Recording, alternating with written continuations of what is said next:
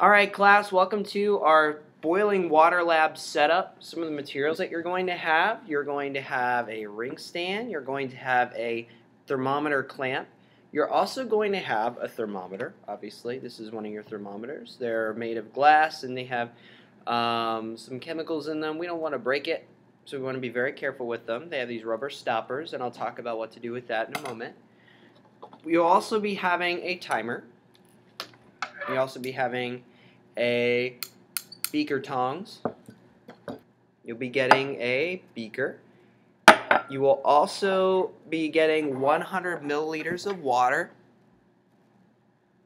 You can see where that 100 milliliters mark is, where it's at. And you'll be using a hot plate. Okay, so As far as your lab setup goes, most of this will be done already for you when you come into the classroom. You're going to have your hot plate right, uh, right beside your rod at your designated table, and you're going to have the thermometer clamp attached and it's screwed tightly around the rod. You can change the height of the thermometer clamp by simply loosening the screw and, and moving it up and down. You can also tighten the thermometer clamp where the black rubber um, ends are by just screwing in the screw on that attached end. We're going to talk about that next. Next what you'll do is you'll need to get 100 milliliters of water and we'll put that on top. And we want to make sure this is in the off position. Then we need to set up our clamp for our thermometer. We want to make sure the red part is on the bottom and in the water but yet it needs to be that it is um, submerged but not touching the bottom of the glass. So we'll need to tweak that height a little bit. But what we want to do first is attach it. And so what we're going to do is we're going to take our clamp and we're going to put it on so that it touches and holds on the rubber stopper. Do not put it on the glass. See how the rubber stopper is there? We'll tighten it here not too tight because we don't want to break it within.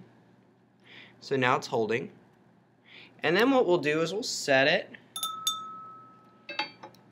We'll put the clamp on and unscrew it.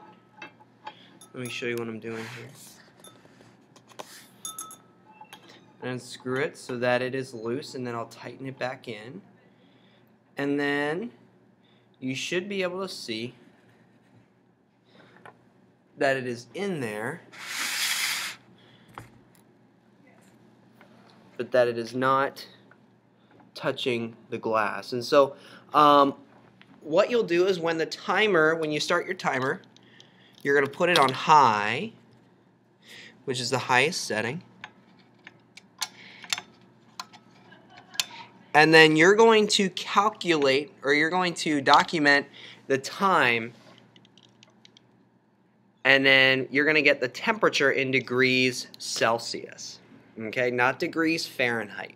And you could see which one you're measuring by on the thermometer when you're looking at the top of the thermometer. It will have it in degrees Fahrenheit on one side and then degrees Celsius on the other. We want to make sure that you measure with the correct degrees. And our question we want to make sure that we answer is, does it take more time to heat or to cool? With that, you can get started.